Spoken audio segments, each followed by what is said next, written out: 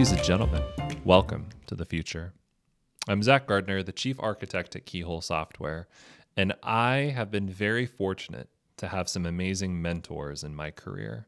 I've learned from some awesome people. I've had some interesting people that I've met, but I've also had some, you know, not so nice people. And I try to learn from all of them. I try to take the lessons that they have taught me, learning not just what they have done in their career, but also why they did what they did and how they were successful with it.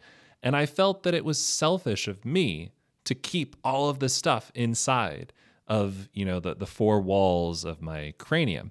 So I decided to start this video cast next level. Go out, talk to other people that have been through similar, sometimes different journeys than I have to figure out what are the things that they have learned in their career path that could potentially apply to the next generation of technical leaders that are going to be, when I retire, the ones that are going to be writing code and architecting things day in and day out. So I want to make sure that I can be on a beach in Hawaii and not have to worry about any production issues whatsoever. Today with me, all the way from beautiful Detroit, Michigan, you know, home, hometown boy, Sascha Goldsmith. What's going on?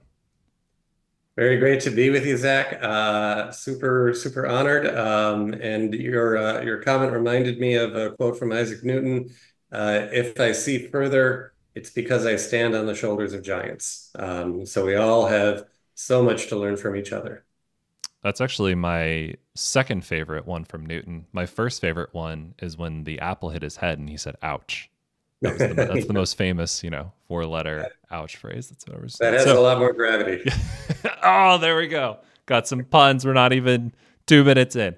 All right, I got got to get my disclaimer out of the way. got to put my radio voice. All the views and opinions expressed in this program are the views and opinions of the participants do not reflect their employers, their trade organizations, any car magazines they might be subscribers to. God, what else am I missing? Any loyalty programs so many grocery stores we're just two dudes. We're talking. And I think you're actually the first CTO that I've had on the program. So, a very warm welcome. To get people started off with, just to kind of get oriented to you, get oriented to your work, could you kind of talk the audience a little bit through your career journey? What are some of the places that you've worked at? What are some of the projects that you've been on? And do you remember the very first thing you programmed? Uh, I definitely do. I actually brought a prop here, and I know sometimes the video blurring is not going to um, work, but this is the actual oldest programming book I have. It's called Subroutines and Secrets. It's um, Apple Basic. Um, and uh, I have to confess, I don't look at it very much anymore. I don't know that anyone's using Apple Basic, uh, but it was a big part of my early life. Uh, I had and, and, I'll only go very briefly in my own journey uh, and and let you um, poke at the items that are interesting. But I, have had a very non-traditional journey. Um, never took a computer science course. Um, self-taught from age seven. Uh, that book, I actually looked at the, the, the copyright. Apparently, I was age ten when I got that book. Um, kind of dating myself. Um, but my absolute first program uh, was from that book, uh, not verbatim, but it gave me the the tools uh, to make my first program, and I think that's a a good lesson for anyone. Um, you know, you're, you're, you're very rarely going to get the entire answer delivered. Uh, you'll just be given tools and hints. Uh, but there used to be a program, um, and I'm probably divulging something I shouldn't called Copy 2 Plus, which maybe theoretically let you copy from one floppy drive to another uh, software that you might not have owned. Uh, I'm only speaking hypothetically, but I loved the menuing system and I loved what they could do. Um, and I wrote an Apple Basic program over a few months, taught myself Basic, uh, and that was the absolute first program I uh, ever wrote, and I and I actually used it all the time, uh, you know, just to kind of manage my own files. So that was uh, the absolute first program. Uh, was lucky enough to have a second college experience for Price Waterhouse. Uh, spent three months training me after college in how to do real computer programming, uh, which was uh, a really great experience in Tampa in the winter. Um, and then moved over to a cryptography startup.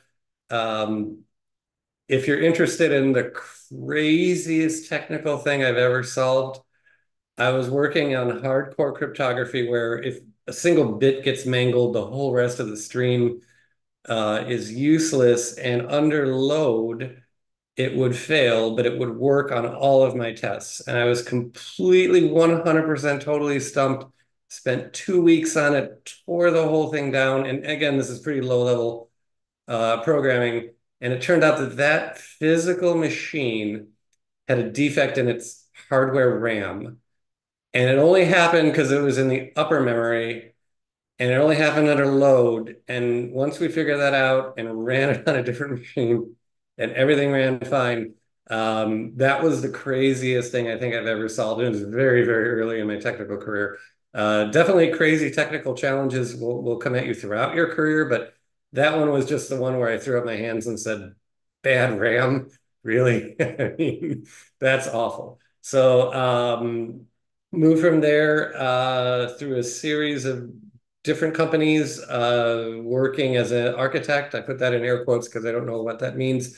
Um, and then eventually landing at Amazon, uh, going from an IC to a manager, leading their uh, seller website, which most people probably haven't gone to, although millions of you probably have.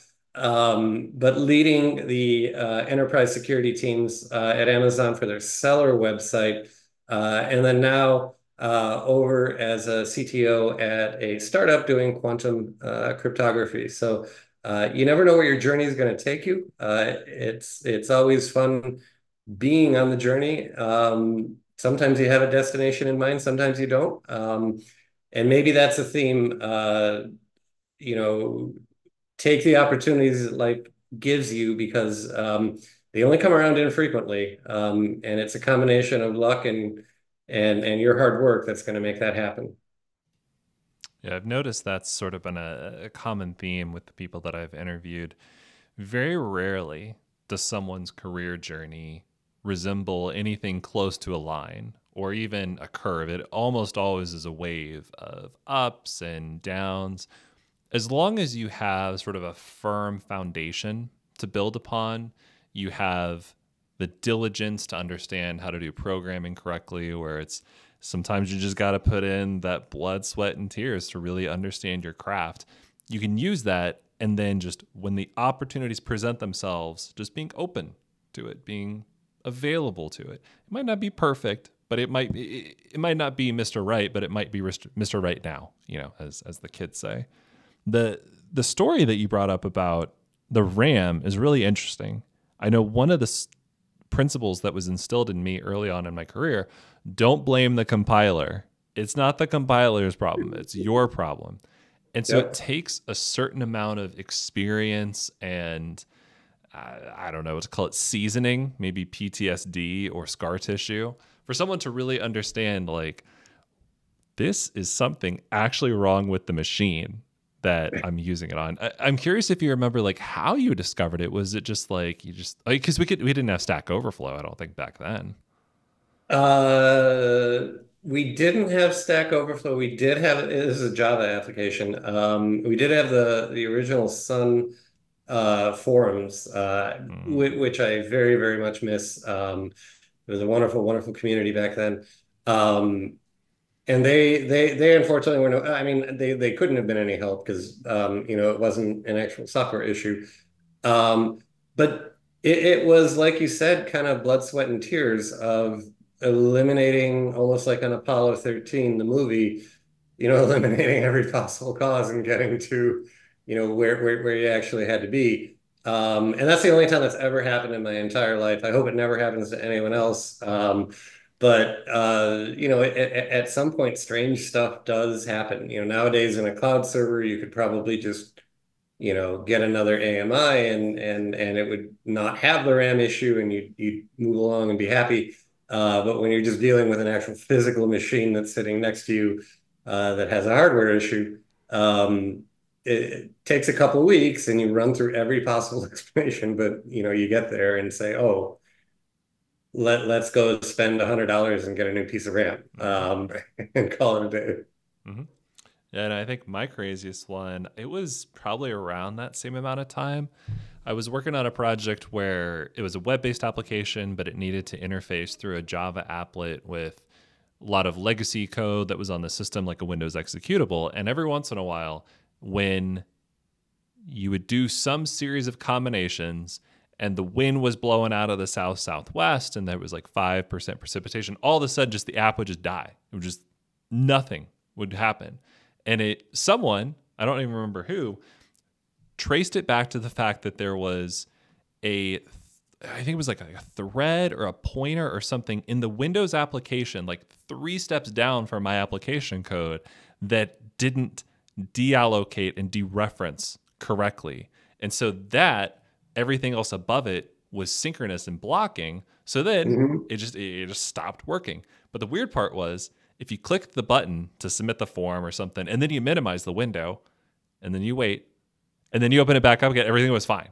So it was just like because that triggered the dereferencing, and it was just like, how do you how do you do that? And it's just it's really hard to describe to junior and even mid level developers just the amount of ESP that sometimes you develop just working on these systems like day after day, week after week.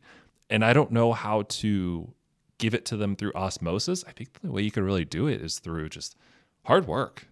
Yeah. Well, you know, the the dumbest thing I ever did, uh, and it's super simple, and I guarantee you there are some people out there that are going to do this. Uh, like I know the sun is going to rise tomorrow. Um, but I was a developer at the time and I was working on Amazon's help system. And this wasn't just for seller. This was like all of help mm-hmm. across all of Amazon. Like when you go click help at amazon.com, you know, this is the service that's going to be running it. Um, and I made a stupid integer to pointer conversion, super, super simple. Everything tested out well. But once you get lots of hits, like this was 2 billion hits a year, um, somebody's going to do something you weren't expecting and within hours the whole help system was was crashing down and i get paged and i looked at the code and immediately realized oh my god that was that was me. I thought i tested the heck out of that and no i i apparently didn't. Um, and, you, and you, you do you know what's right in that moment. You you own up to it and you put in the fix and you retest the fix because you've already made one mistake. You know, you mm-hmm. want to make sure you're not adding another mistake. Um, and you get that through over to hundreds of servers as, as across the world as safely as you can. Um, but those are some Maalox moments where um, you know your your heart rate is going up. Um, but we're human, right? We make mistakes. Um, we, we, we try to eliminate as many of them as we can, the common ones. But they'll happen. Mm-hmm. Yeah, I'm curious now if we could kind of pivot towards cryptography and you know uh, the quantum aspect to it. It's something that I admittedly am not well versed in. I don't even pretend to be a dilettante. I'm like whatever is beneath a dilettante. I'm curious if you could just you know kind of share your experiences with this technology and maybe where you see it going in the next few years.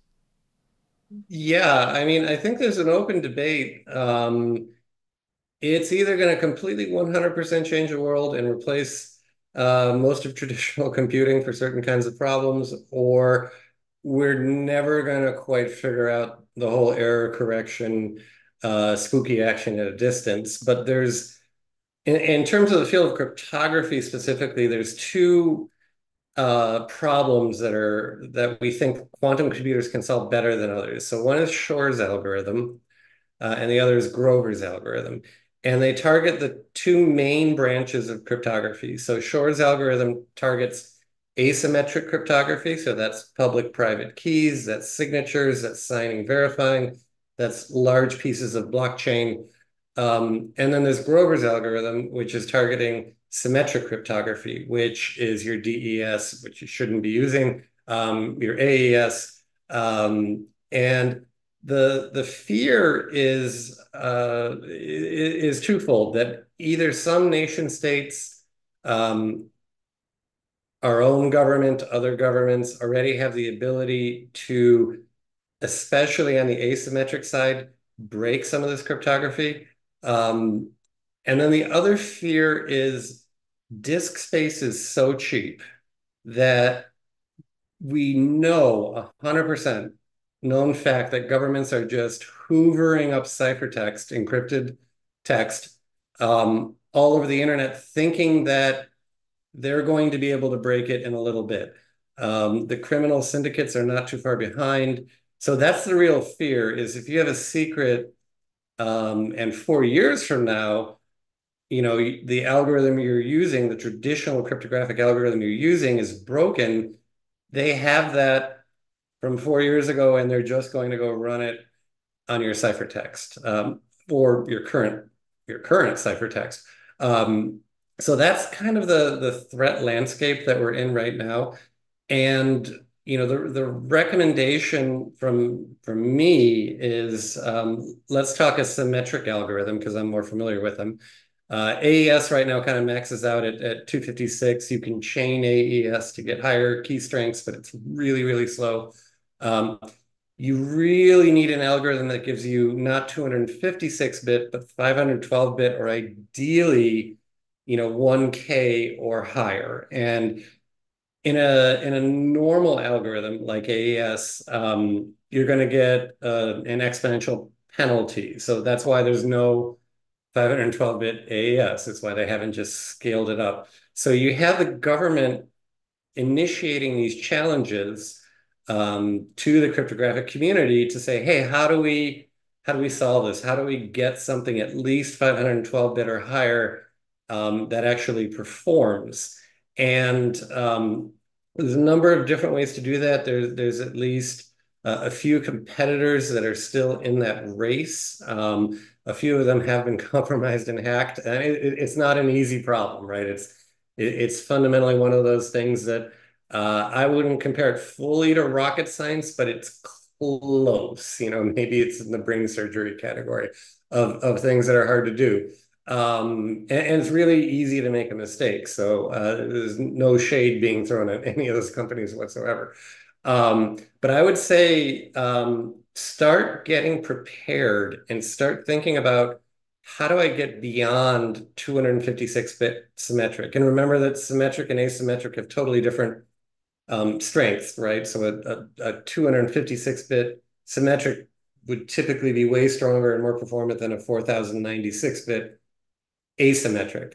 Um, but it my my read on the the state of the world is if I'm using a digital signature or if I'm using blockchain or asymmetric crypto, I'd be worried in the next few years, and and I'm no nobody knows if it's been broken yet or not. Um, but I would guess one to four years, Shor's algorithm is going to have some kind of a breakthrough. Um, again, there might be non-published ones. Um, I think if you're doing symmetric crypto, you have a little more time. It's probably five to 10 or 15 years, and symmetric might never be broken. Um, but Grover, Grover's algorithm is out there, um, and it you know it is a it is a real world threat. So um, just remember the fuel for your crypto, the the the gas that powers that engine is your entropy. Um, so there are a lot of really super cheap sources of quantum entropy, which is about the best entropy you can get, uh, source of randomness. Um, so yeah, you can use dev random. That's pretty good. That's not bad. It's it's probably fine for now. Um, you should never use, say, in Java, regular random. You should always be using secure random. And ideally, you should pick an algorithm that has a really large bit size. Um, you know, don't don't just take the default algorithm. You know, look at something that, oh, this is giving me at least 512 bits of entropy in my um, secure random seed. Um, and then, you know, just be aware that there are these new algorithms coming online. You know, some of the super um, known ones like Crystals Kyber, um, you know, are are out there and being used. And I think Apple iMessage uh, switched to that recently. So these things are happening, and your your cloud provider is, is probably already taking this kind of stuff into account. Um, but you need to protect your own data. Uh, you know, your data is going to outlive your system. Uh, data has different levels that it needs to be protected. Uh, data has different lifetimes over which it needs to be protected, and data has different adversaries that are actively trying to uh, compromise it. So, you know, weigh those three variables and figure out um, how how paranoid do I want to be and um, just remember that it, it, there's no there's no silver bullet, right? Even if you found the perfect algorithm, someone can social engineer your company. You can have a malicious insider. You know, there's all kinds of other things you have to worry about. Um, the odds that someone is going to ram the front door down um, traditionally has been very low. It's becoming a risk. Uh, but just remember, they're probably going to enter in another part of your house. They're not going to go through um, the main gate that's the steel door that's got the padlock. It, they're they're going to go through the open window. Mm-hmm. Yeah, very much like water finding the path of least resistance. That's what that Yep. reminds me of. I mean, it, it's also crazy too to think that even if you do have great cryptography now, to your point, if that data gets stored, it gets exfiltrated and offloaded, all a criminal has to do is just wait until something Yeah. comes out to be able to crack it. That's that's an attack vector that I had never considered before. That stinks. And there's I, I, don't- I don't know of a way to prevent something like that, you know, fully. Yeah, and, and and that's why you just have to have lots and lots and lots of different mechanisms um, in place to to safeguard uh, your data. And and I think a lot of this, I'll, I'll call it good hygiene, right? I mean, I think these are things that we know, um, but they're things that are expensive day to day to implement, and there are things from a like a procedure perspective that you have to lobby um, your stakeholders to to want to invest in um, because it only takes one breach, um, you know, something like an Equifax, uh, something like the Office of Management Budget, which is catastrophic uh, for everybody that it happened to. Um, and, and crypto is not the silver bullet. It, it, it's it, it's one of your main tools. And, and I guess the takeaway would be we're losing one of our main tools. We're losing that front door potentially in the next few years. So start to look around at what would be a more secure front door um, in your own architecture.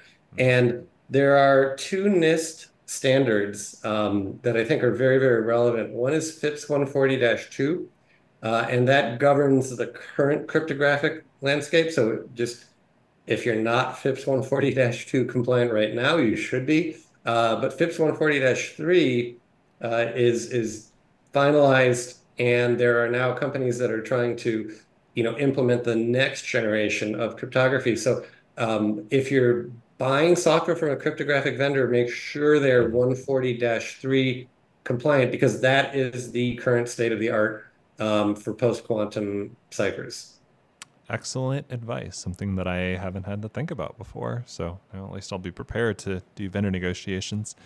But kind of to wrap it up, I'm curious if you had could go back in time and give you know the earlier Sascha Goldsmith, the one that you know was uh, very bright-eyed, you know, sort of like you know rosy-cheeked, pieces of advice. Like, wh- what would you go back to tell yourself in terms of this is something that you're going to learn in your career.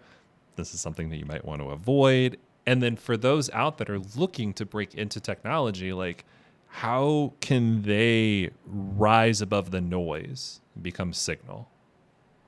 So um, I'm going to be a little bit of a homer here, or a former homer, because I don't work there anymore. But Amazon has this list of leadership principles. Uh, I think there's 14 of them now. Um, and I'm not saying that these are the right things, but I think they're the least bad ones that I've seen. Uh, Facebook has their take, Google has their take. Um, there's another little prop I'll bring up here. If you're interviewing for big tech, um, cracking the coding interview, this is a really old edition. It's probably four editions later now. Um, is a great resource to have, but realize they're going to be looking at two different aspects of what you can do. One is um, your technical skills. Um, and uh, there's an awful lot written about what they're looking for for ICs and what they're looking for managers, looking for leaders. Um, and then the other half, which is as important, are the leadership principles. So go, uh, whatever company you're interviewing for, they're all um, justifiably proud of the effort they've put into coming up with these.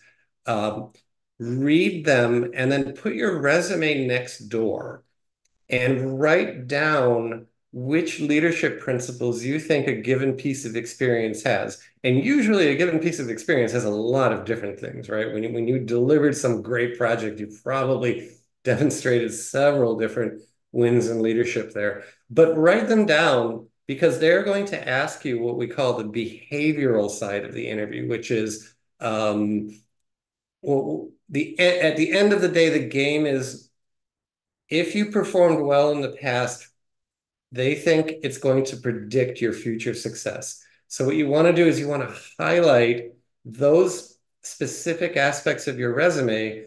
Um, and for Amazon, it's a little tricky because there's 14 leadership principles, but usually they're going to ask you something and you're going to say, oh my gosh, they're asking me, can I earn trust? Do I have the ability to dive deep? Uh, have I shown um, the ability to deliver results, or especially if you're a manager. I mean, number one, if you're a manager, is can I develop and hire the best? Um, because um, on your journey to becoming a leader, the hardest thing for me, and your mileage may vary, um, is that it's not your success anymore. It's everybody's success. And it's a real mind shift when you are thinking of yourself as a top performer realizing that you only have limited control.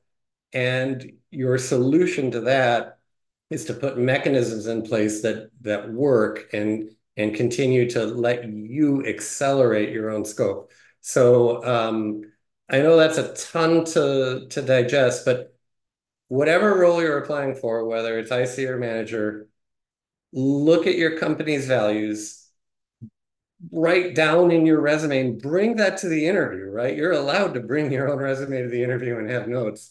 Um, and and use that to your advantage. Tell a story and be sure you're specific, right? It's not that wow, I solved a complex problem. It's wow, this problem was complex because of A, B, and C, and I did D um, and simplified the entire problem, right? And that's a different way of telling a story um, than being a little bit hand wavy. Everybody, everybody will appreciate data.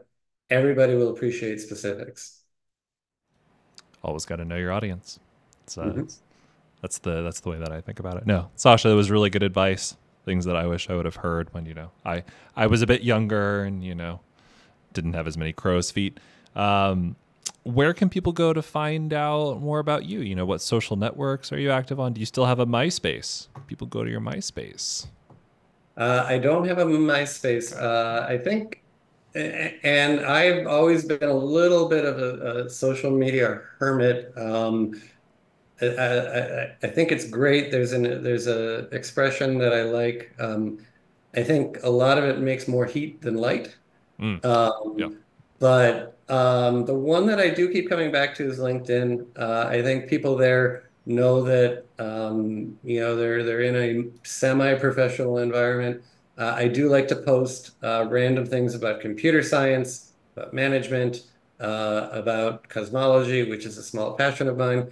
Um, and uh, yeah, follow me on LinkedIn, uh, Sascha Goldsmith. I think I'm the only one out there. Mm-hmm. And um, pretty, pretty, pretty easy to find there. Uh, and, and, just a, a, shout out to you, Zach. Uh, I, I, love all the posts uh, that I see that educate me. Uh, and I think that's one of the, the cool things about LinkedIn that it, it, it is just a little bit more of a um, no nonsense way of just mm-hmm. communicating with people you respect.